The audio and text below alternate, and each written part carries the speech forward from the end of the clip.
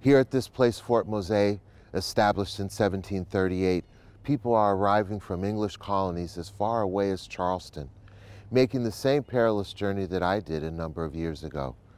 It was the Edict of 1693 that allowed for any man, woman, or child enslaved on an English plantation to find their freedom in Spanish Florida. The English will not rest until they have taken all of Spanish Florida and returned all of us to slavery.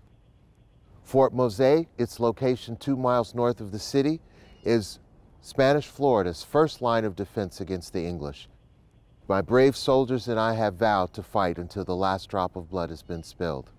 We will protect the freedoms, not just of ourselves, but of those of the people of St. Augustine, who will fight more bravely than those who have been enslaved.